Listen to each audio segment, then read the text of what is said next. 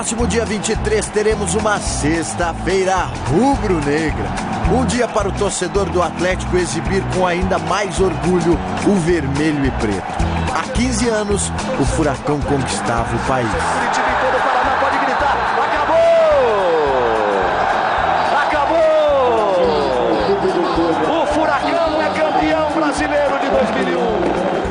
Uma campanha quase que irrepreensível. Em 31 jogos, o Furacão conquistou 19 vitórias, 6 empates e 6 derrotas.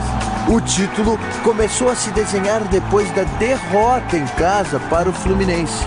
Um jogo que selou a despedida de Mário Sérgio do comando do time. O técnico foi responsável pela base da equipe campeã, mas foi com o Geninho que ela deslanchou de vez um reencontro com vitórias seguidas, não apenas uma vitória esporádica. Entre tantos talentos, o time tinha uma defesa sólida com Nem, Rogério Correia e Gustavo. Um meio de campo que unia a força de Cocito e a criatividade de Kleberson e Adriano, que quando não podia jogar, cedia lugar ao habilidoso Souza. E o que dizer da dupla de ataque? Kleber e Alex Mineiro, 17 gols cada um, artilheiros do campeonato. Kleberson, o Atlético inteiro, a bola!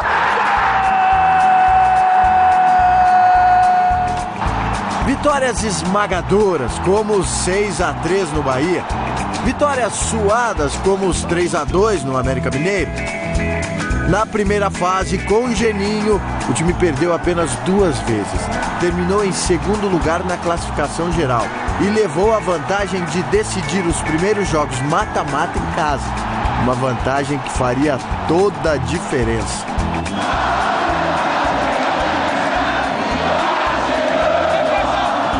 Quartas de final do Brasileirão, jogo único. Primeiro adversário, o São Paulo de Kaká, Leonardo e Rogério Ceni.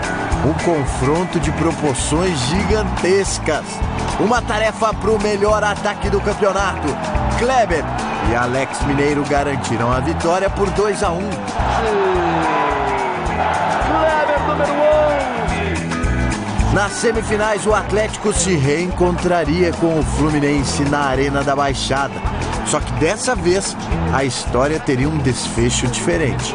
Apesar dos gols de Magno Alves, o Atlético empatou e virou a partida.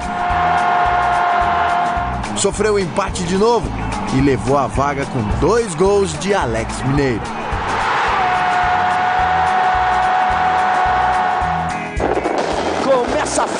Final do futebol brasileiro. O adversário da decisão era o surpreendente São Caetano, dono da melhor campanha, que assim como o Furacão foi deixando favoritos pelo caminho. No primeiro jogo na Arena da Baixada, a torcida viu um Atlético arrasador. Ilan entrou no lugar de Kleber, que estava suspenso, e foi logo marcando. O azulão reagiu e virou com Mancini e Marcos Paulo. Mas o Atlético tinha um atacante iluminado. Alex Mineiro provou porque foi o cara do time nos jogos finais. Marcou três vezes.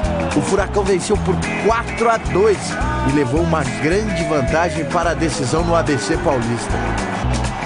É domingo vamos com mais tranquilidade para ver se a gente possamos fazer mais gols.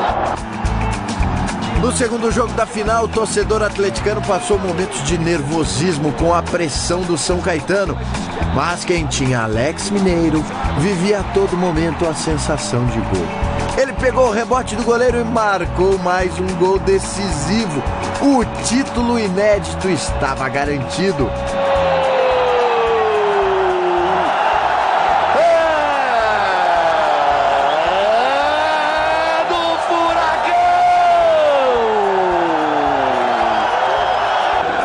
Torcedor do Atlético Paranaense, você em Curitiba, em todo o Paraná, pode gritar: acabou! Acabou! O Furacão é campeão brasileiro de 2001. 15 anos da maior alegria do torcedor atleticano.